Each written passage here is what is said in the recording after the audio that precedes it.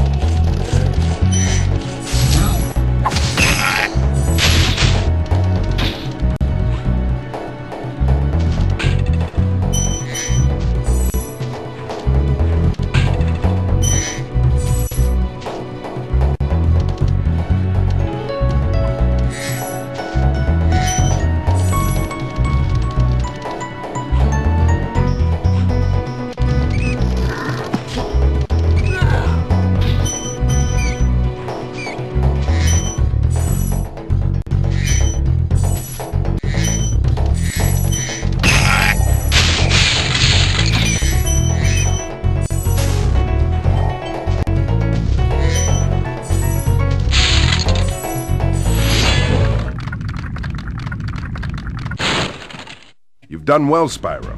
Some dragons thought you weren't ready, but I knew they were wrong. I'm ready, all right. Ready for what?